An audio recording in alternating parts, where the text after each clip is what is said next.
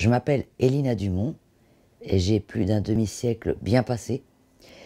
Et pour moi, la vie, euh, bah, a bien mal commencé.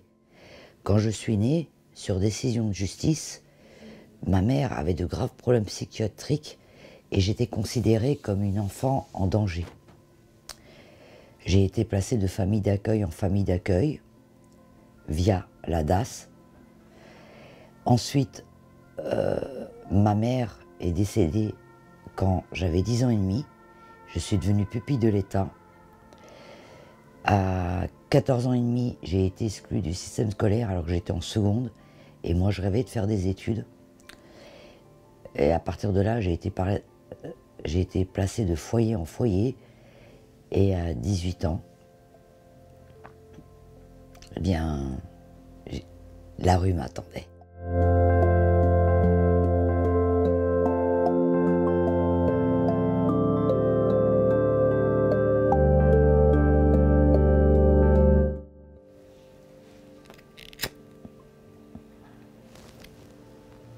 Famille d'accueil, en Normandie, j'étais abusée par plein de gens du village. Et le seul endroit intime que j'avais, c'était les toilettes. Et je disais toujours, un jour, je me vengerai. J'étais à la rue, j'ai passé trois nuits à la rue, de 18 ans euh, à 18 ans et trois jours, et quatre jours, on va dire. Et franchement, j'ai eu peur. Parce que moi, je savais pas ce que c'était que la rue. Et je voyais bien qu'il y avait des hommes euh, qui étaient bizarres et, qui étaient très dangereux. Et donc, euh, j'ai. Comment dire Mon cerveau, il s'est mis en route. Et j'ai dit euh, Ah non, non, mais là, il faut que je trouve des solutions. Hein. Moi, il n'est pas question que je me fasse. Violée par un taré dans la rue ou, que euh, j'ai peur toutes les nuits dans les rues et tout. Et un jour, je rencontre une fille qui s'appelle Isa, qui habitait Paris, Argenteuil exactement, et qui me dit Mais viens en boîte de nuit, c'est gratuit pour les filles du lundi au jeudi. Donc du lundi au jeudi, j'allais dans les boîtes de nuit, parce que pour les filles, c'est gratuit. Et c'est même encore gratuit en 2021. Et euh, bah, j'étais de peinard. Euh, alors moi personnellement, j'y allais pas forcément pour danser. Hein. j'y allais pour euh, surtout pour me reposer, être au chaud, boire un coup. Et là, je rencontrais des hommes qui me trouvaient très jolie, qui me filaient leurs cartes et qui me disaient ben quand ma femme sera pas là, ben, appelle-moi. Et quand j'étais dans le caca, ben, j'appelais ces femmes, j'appelais ces hommes, excusez-moi. Et ben voilà, en fait j'ai couché pour un toit. Alors, il euh, y en a qui, qui disent que c'est de la prostitution. Mais pour moi, euh, je ne me suis jamais prostituée. prostituée. Je me suis. Euh, j'ai couché pour un toit. Alors, en fait, être une femme sans abri.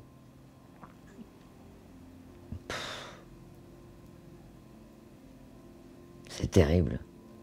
On n'est rien du tout. On est un objet sexuel. Je dormais aussi dans les centres d'hébergement pourris, sales. J'ai attrapé des poux, des puces. Enfin bref, c'était l'horreur. La survie, c'est quoi? Bah, c'est euh, voler, rencontrer des gens qui sortent de prison, des gens gentils aussi, faut pas, faut pas dire l'inverse, des gens méchants. Euh, enfin, quand même beaucoup d'emmerdes. Ça, je dois le dire. Il y a quand même beaucoup d'emmerdes. Et d'ailleurs, moi, euh, c'est pendant mes années euh, sans abri que je suis tombé dans le crack. À 19 ans, je me suis retrouvé sous tutelle de juge jusqu'à 21 ans.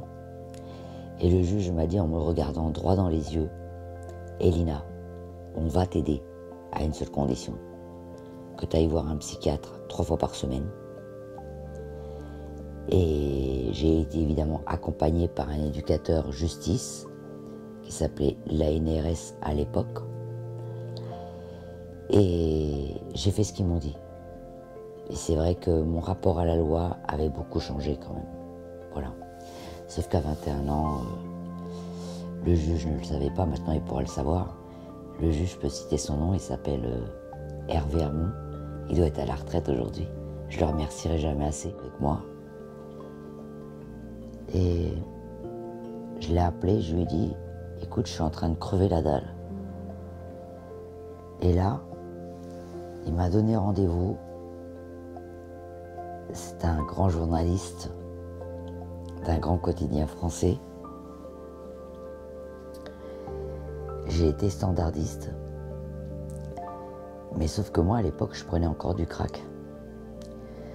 Donc, euh, j'ai invité tous mes potes qui prenaient du crack pour leur prouver que j'avais trouvé du boulot. Puis en plus, au-delà de ça, c'était la tour Eiffel pour moi de travailler dans ce grand quotidien.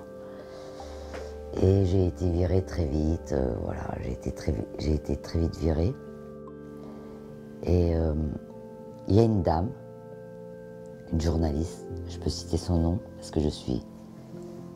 Elle s'appelle Marie-Ange Rodot. Elle était au service sport. Elle est venue me voir et elle m'a dit C'est toi qui vas être viré J'ai oui. Je sais pas ce que je vais devenir. Et en fait, euh, c'est là qu'elle m'a proposé euh,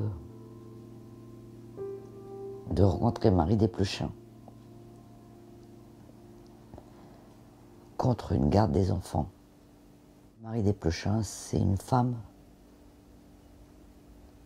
qui a qui a changé ma vie. Je lui ai dit toute la vérité. Et je lui ai dit, écoute Marie, je t'aime trop. Tu m'as fait confiance, je te promets, j'en prendrai plus. Et la Marie m'a encouragé à retourner voir le psychiatre. Pendant un an et demi, elle m'a accompagné dans ma dépression. Et sans cette femme, si elle m'avait viré le jour où elle avait découvert que j'avais pris du crack, ben, je serais peut-être encore dehors avec mes copains en train de prendre du crack. C'est grâce à Marie Desplechin que j'ai fait une formation euh, pour travailler dans le social, mais moi je voulais faire la révolution pour, euh, voilà, pour changer les choses. Et Marie me disait toujours, mais Lina, tu sais, t'es pas bête, tu pourrais faire une, une formation. En 99, j'ai dit, je vais, écrire mon spectacle. Je mettrai le temps qu'il faut, mais je l'écrirai. Et Marie Desplechin, entre-temps, euh, avait fait un best-seller avec un livre qui s'appelle Sans moi, qui rencontre nos rencontres, qui, qui raconte notre rencontre. Ça fait longtemps maintenant que je suis sortie de la rue. Et aujourd'hui, ben, moi-même, j'en reviens pas. Parce que quand j'ai été exclue du système scolaire, on m'a quand même dit que j'étais inapte à suivre des études. Je serais folle comme ma mère. Aujourd'hui, j'ai écrit un spectacle. J'ai écrit un livre. Longtemps, j'ai habité dehors. J'ai écrit un rapport contre le sans-abrisme des femmes à la région Île-de-France missionnée par Madame Pécresse.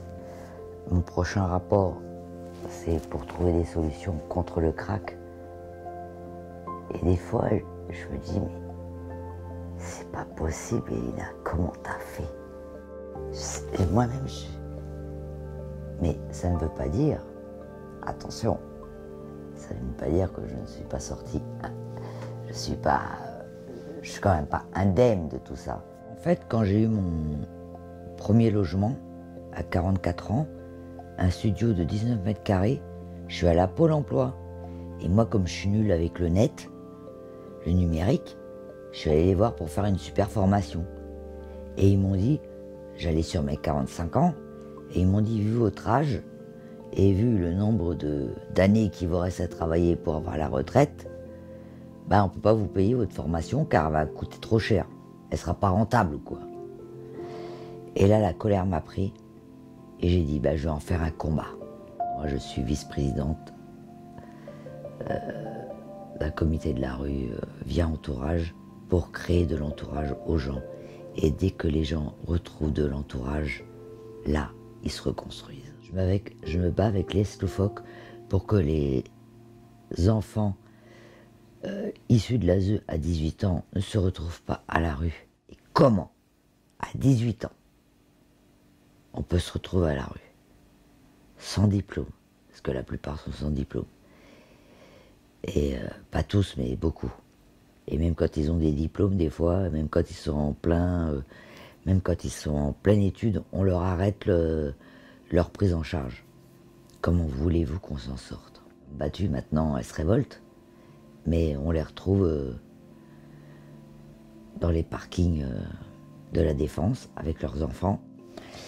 Et en fait, quand on compare mon histoire et quand on compare aujourd'hui où on en est, eh ben, c'est toujours le même problème. Tout le monde peut tomber à la rue, mais pas n'importe qui.